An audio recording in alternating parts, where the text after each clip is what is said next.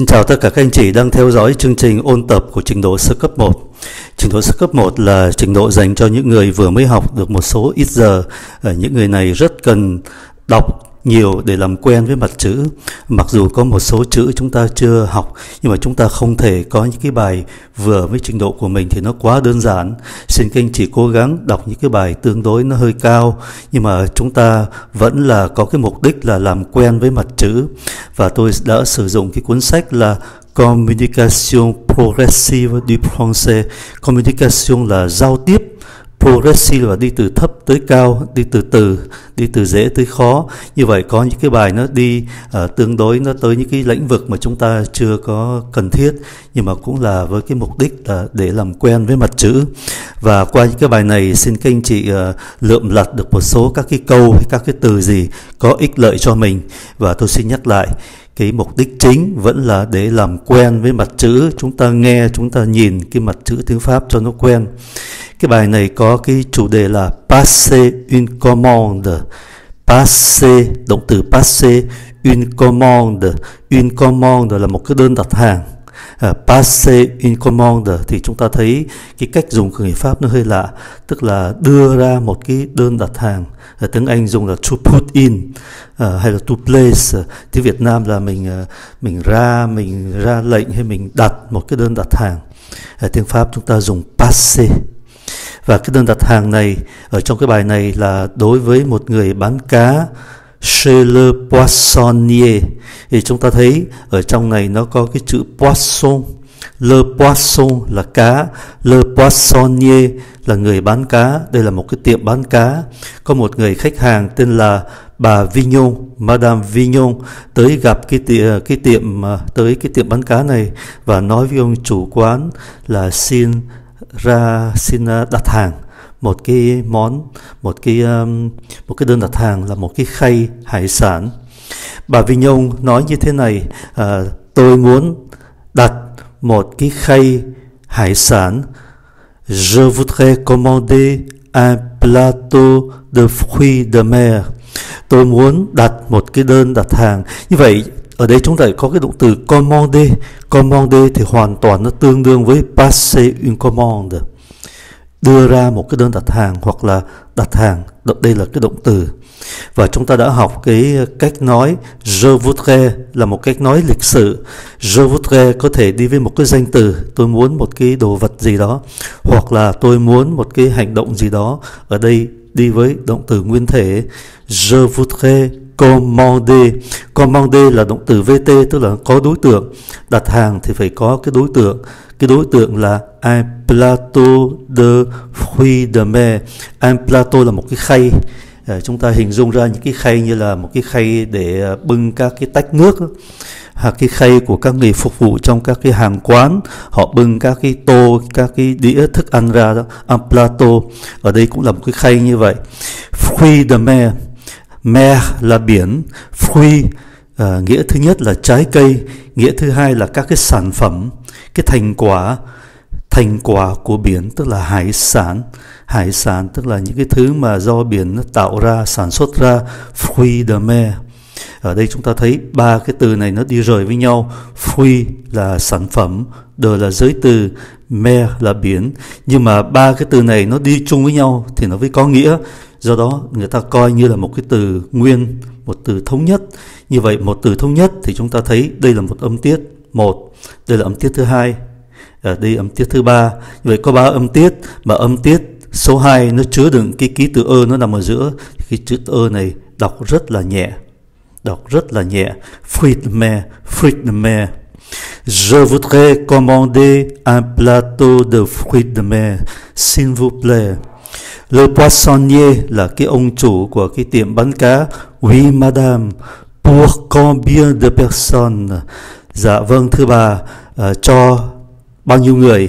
Để chúng ta nhớ combien de, combien de là bao nhiêu và đi sau là một cái danh từ không có mạo từ. Combien de personnes?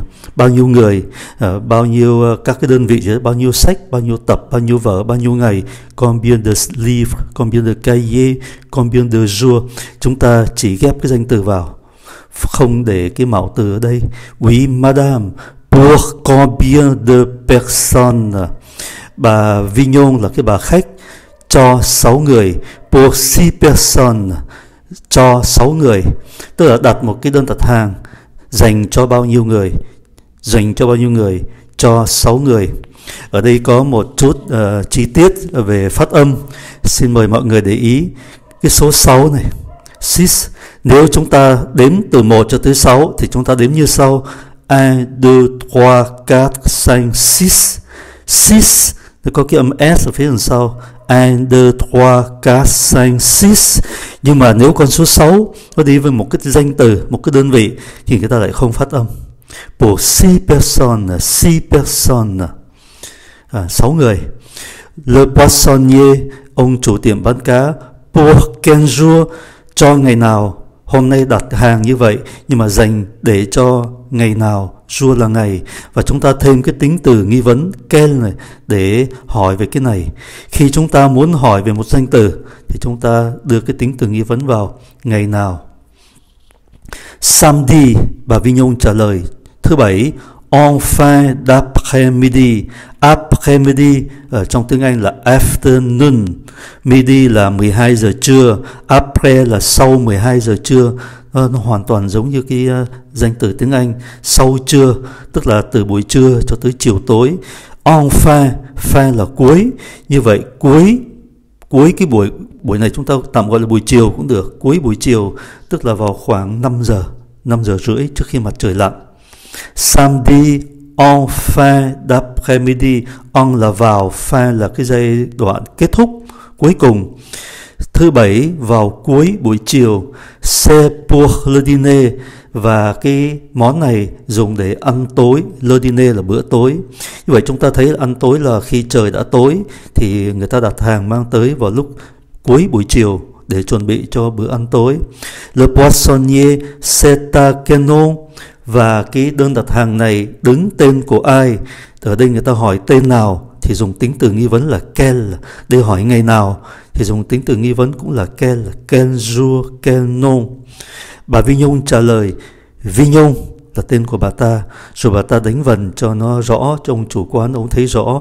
V I G N O N. Ông uh, chủ tiệm bán cá lại hỏi qu'est-ce que vous préférez? Bà ưa cái gì préféré là thích hơn tức là thích cái này hơn cái kia. Qu'est-ce que vous préférez? Ý nói là ở trong quán chúng tôi có nhiều cái, có nhiều cái cách lựa chọn, bà thích cái nào hơn? Qu'est-ce que vous préférez? Un plateau classique à 20 euros. Một cái khay khay hải sản một cái khay bình thường. Classic là cổ điển, tức là bình thường, từ trước đến giờ không có gì lạ hết. Một cái khay bình thường với giá là 20 euro, u u là hoặc là un plateau mélangé. Hay là một cái khay. Ở đây chúng ta hiểu ngầm là cái khay hải sản. Một cái khay pha lẫn lộn. Mélangé là pha trộn nhiều thứ lẫn nhau.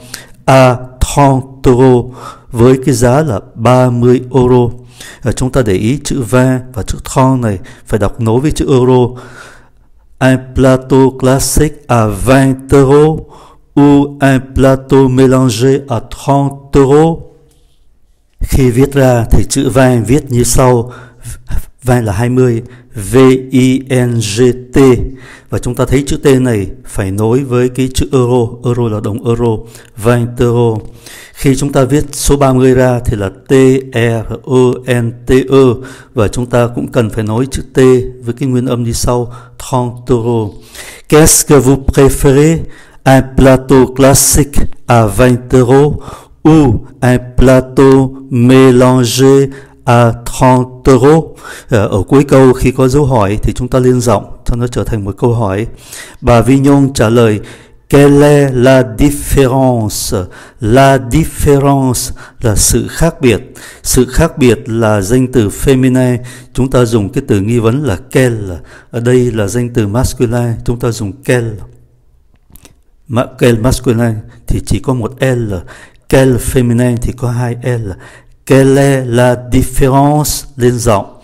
Người bán cá trả lời ở trong cái khay bình thường thì bà chỉ có Solomon là chỉ có những cái con uh, con sò ốc đó, là rồi những con có cái vỏ cứng như là lê duitre các cái con sò lê moule các cái con trai rồi, dans le plateau mélangé, còn trong cái khay mà pha lẫn lộn vous avez, thì bà có, aussi bà cũng có, des crustacés. Crustacés là các cái loại tôm cua. Ở trên này là kokia là sò ốc sò ốc hến. Crustacé là tôm cua. Chẳng hạn, des langoustines, những con tôm càng. Du crab con cua. Des crevettes, những con tôm con tôm thẻ con tôm bình thường. À, sau khi ông chủ quán đưa ra hai cái lựa chọn như thế này thì bà Vi Nhông chọn cái khay bình thường un plateau classique me semble très bien. Động từ semble là dường như tiếng Anh là to seem cả một cái khay bình thường thì có vẻ là tốt đối với tôi rồi không cần cái khay uh, pha lẫn lộn. Tôi đọc lại cái câu dans le plateau classique vous avez seulement des coquillages des huîtres des moules. Dans le plateau mélangé vous avez aussi des crustacés des langoustines du crabe des crevettes. Un plateau classique me semble très bien. Về mặt phát âm thì trong bài này chúng ta để ý một số chuyện sau đây. Chúng ta gặp một số các cái trường hợp các danh từ tận cùng bằng ơ a u, ơ a u thì là o plato. Một số lập lần như vậy, plato. Chuyện thứ hai chúng ta cần để ý là chữ as này là as công son này, do đó chúng ta được phép nối như vậy chúng ta thấy là chữ ash là luôn luôn câm, nhưng mà có thể là công son, có thể là voyel là nếu là ash voyel thì chúng ta không được phép nối. Và cái trường hợp đó ít hơn là cái trường hợp ash công son, tức là được phép nối. As voyel không được nối như thế này. As công son thì được phép nối. Như vậy tới khi nào mà gọi là những cái trường hợp đặc biệt, tức là chữ as tôi không được phép nối, thì chúng ta tôi sẽ lưu ý các anh chị. Còn bình thường thì chúng ta cứ đọc nối thấy cái này cứ đọc nối. À, ở đây chúng ta cũng cần để ý nữa là cần các cái đọc nối kele này seta này các cái chỗ này là bắt buộc phải nối ở vous này Vujave. ở đây có một cái chuyện mà có lẽ có một số anh chị sẽ để ý và thắc mắc.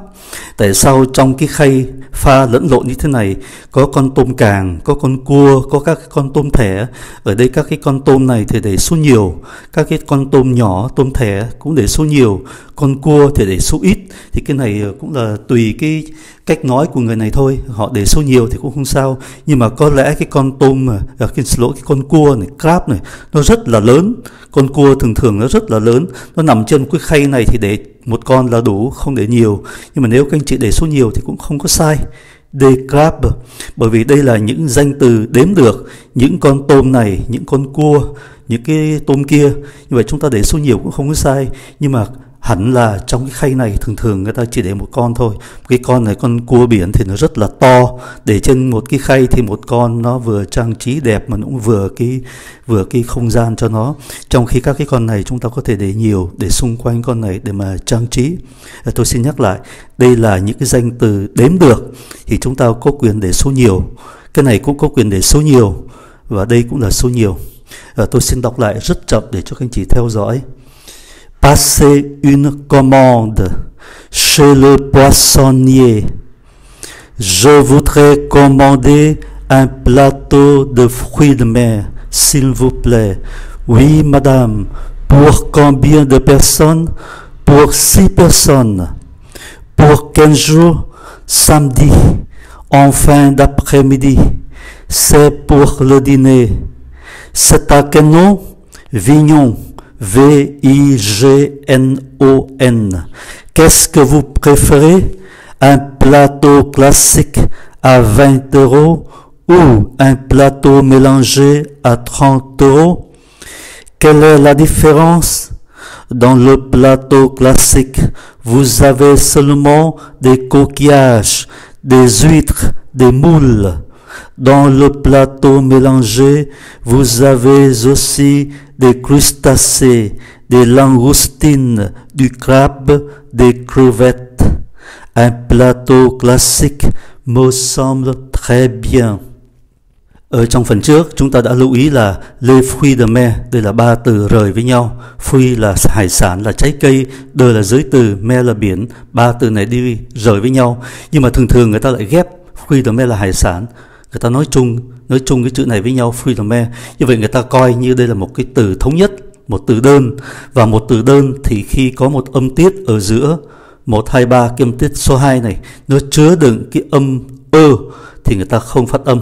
Còn lại freedom freedom tương tự như là samadhi somebody thì có cái âm tiết số 2 nó đứng giữa và đứng trước nó có một âm tiết, đứng sau nó có một âm tiết thì người ta lược đi, người ta chỉ còn phát âm là hai. Thay vì somebody thì còn lại là somebody. Tương tự như vậy, chữ Solomon Solomon là chỉ, tiếng Anh là only, thì có ba âm tiết Solomon. Nhưng mà chữ lơ này và tôi vòng lại cái âm tiết số 2 này. Đứng trước nó có một âm tiết, đứng sau nó một âm tiết. Như vậy người ta gạch đi. Và chỉ còn hai. Seulement seulement samedi fruitmer và bây giờ tôi xin đọc lại tương đối nó hơi nhanh để cho các anh chị nghe cho nó quen. Các cái lần trước thì tôi đọc thập, tôi đọc là khá chậm.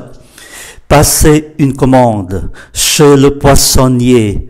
Je voudrais commander un plateau de fruits de mer, s'il vous plaît. Oui, madame. Pour combien de personnes?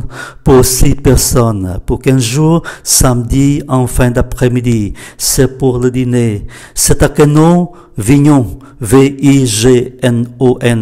Qu'est-ce que vous préférez? Un plateau classique à 20 euros ou un plateau mélangé à 30 euros? Quelle est la différence dans le plateau classique, vous avez seulement des coquillages, des huîtres, des moules. Dans le plateau mélangé, vous avez aussi des crustacés, des langoustines, du crabe, des crevettes. Un plateau classique me semble très bien.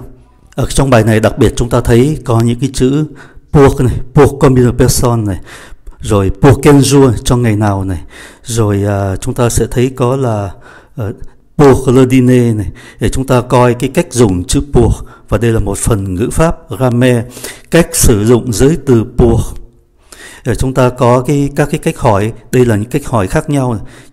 cái này dành cho ai vậy? Sepoki chẳng hạn, chúng ta có một cái gói hàng, chúng ta đưa vào cho một cái đơn vị, thì người kia hỏi, dành cho ai vậy? Sepoki uh, có thể là dành cho tôi c'est pour mua hoặc là c'est pour mission hoặc là mẹ mình đi về mua một cái áo mưa mua một cái món đồ gì đó thì mình hỏi cái này ờ, để cho ai về mẹ? C'est pour qui thì mẹ mình bảo c'est pour toa để cho con vậy. Hoặc là cho em con pour Michel hoặc là cho em gái con c'est pour Marie mua cho. Pour con con là nói về thời gian khi nào để làm cái việc này để cho khi nào để cho ngày nào buộc là semaine prochaine cho tuần sau hoặc là pour quinze jours thì buộc jeudi ví dụ như vậy cho ngày thứ năm. Bây giờ làm một cái công việc hoặc là đặt hàng, chúng ta làm một cái công việc gì cho bao nhiêu người?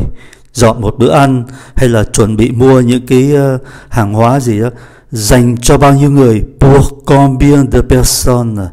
Chẳng hạn như trả lời là pour si personnes cho 6 người. Ở đây là một cái khay hải sản dành cho 6 người. Pour combien de temps? Pour combien de temps nó hơi khác ở bên trên một một chút.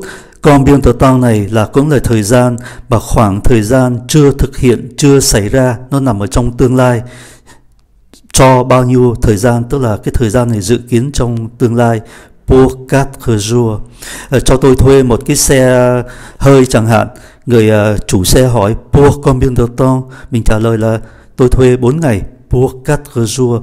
Tức là vào cái thời điểm chúng ta đi thuê xe. Thì chưa cái chuyện này chưa có xảy ra. Mình đang dự kiến thuê xe cho 4 ngày. Thì người kia hỏi ông uh, quý khách muốn thuê cho bao nhiêu thời gian? Pour quatre jours à, chúng ta đưa ra một cái món hàng một cái dụng cụ hay một cái điều gì đó. Cái này dùng để làm cái gì? C'est pourquoi faire dùng để làm gì? Cái này để chơi thôi. Cái này à, cái đồ này là dùng để chơi hay là để mà cắt hay để mà vẽ hay để mà dán? C'est pourquoi faire chúng ta đưa cái động từ vào. Vous êtes pour ce projet. Ở đây cái chữ pour này hoàn toàn khác ở bên trên. Pour này là ủng hộ bạn có ủng hộ cái dự án này không? Nếu mà không thì chúng ta là non, je suis contre, tôi phản đối. cái này là ủng hộ đây là phản đối. Và đó là một số các cái cách sử dụng giới từ pour. Và trong này các cái giới từ pour nó cũng đi theo cái ý nghĩa như vậy. Cái khay hải sản bà muốn đặt dành cho bao nhiêu người? Dành cho 6 người. Và cái khay hải sản này bà dự tính vào ngày nào?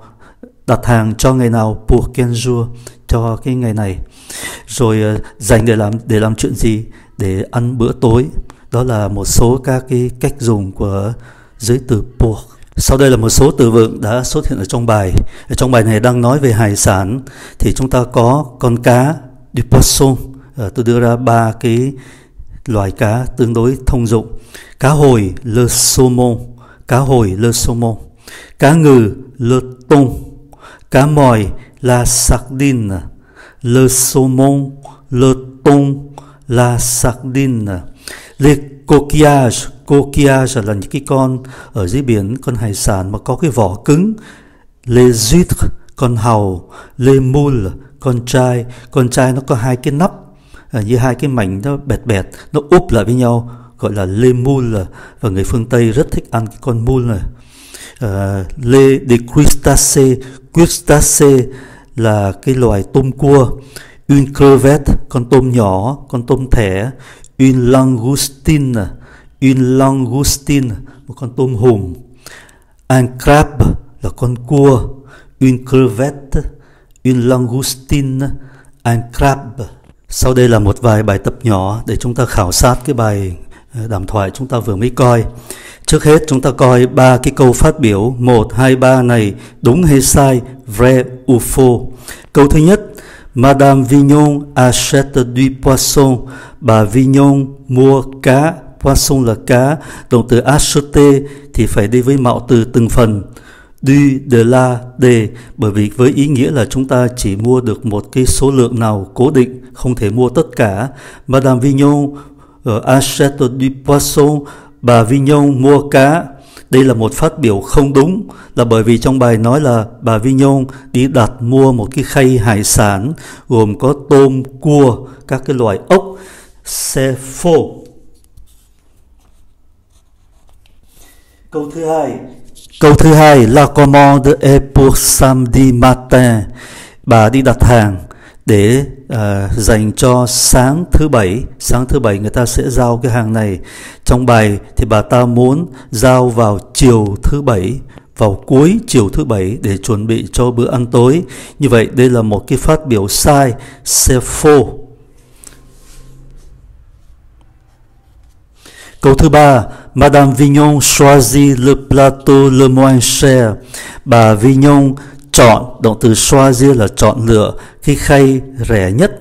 Như vậy cái ông khách hàng ông đưa ra hai cái lựa chọn, một cái khay hỗn hợp 30 euro, một cái khay bình thường thì là 20 euro. Cuối cùng bà ta nói cái khay bình thường 20 euro là tốt đẹp rồi. Bà bà ta đã chọn cái khay rẻ hơn. Như vậy cái phát biểu này đúng, c'est vrai. Trong bài tập thứ hai, các bạn hãy tìm cái câu hỏi. Người ta cho một cái câu trả lời.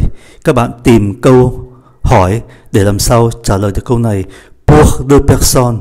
Cái người mà trả lời nó là dành cho hai người. Thì đây phải là câu hỏi. C'est pour combien de personnes? Rồi cho khi nào thì cái người trả lời dành cho tuần tới khi nào rồi cho ngày nào, đây là cái câu trả lời là rõ ràng chính xác là một ngày. Đây phải hỏi dành cho ngày nào, tất cả đều là có chữ buộc hết. Rồi cho tên nào, cái đơn đặt hàng hoặc là cái công việc đó để tên ai. Ở đây câu trả lời là tên của một người cụ thể là bà Marie Jose. Như vậy là dành cho cái tên nào, tên của ai. Cái uh, câu trả lời là dành để mở những cái hộp đồ hộp Le boîte là cái hộp được conserve và các cái hộp đồ hộp. Thì cái câu này phải là cái đồ này, cái cái thứ này, cái dụng cụ này dùng để làm gì? Rồi, pour trois semaines. Trois semaines là một khoảng thời gian chưa tới, chưa xảy ra, nằm trong tương lai. Như vậy chúng ta có cái cách dùng là dành cho tương lai. Pour combien de temps? Dựa vào các cái câu trả lời chúng ta có thể xây dựng các cái câu hỏi như sau. Câu trả lời là dành cho hai người thì câu hỏi phải là dành cho bao nhiêu người? Pour combien de personnes? pour deux personnes.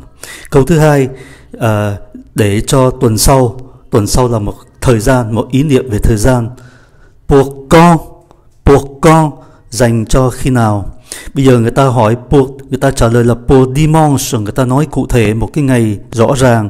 Thì chúng ta làm cái câu hỏi là pour quel jour, ngày nào? Thì trả lời là dimanche. Đây dành cho một người cụ thể là Marie Jose Chúng ta dựa vào câu trả lời này, chúng ta nói pour quel nom dành cho tên của ai, quel nom pour Marie Jose để mở các cái đồ hộp, les boîtes de conserve. Như vậy chúng ta phải đặt câu hỏi để làm gì? Pourquoi faire? Để làm gì? và pour trois semaines, trois semaines là một khoảng thời gian gồm có 3 tuần, một tuần, hai tuần, ba tuần. Đây là một khoảng thời gian kéo dài trong tương lai thì chúng ta dùng pour combien de temps. À, tôi đọc cả câu hỏi, câu trả lời pour combien de personnes?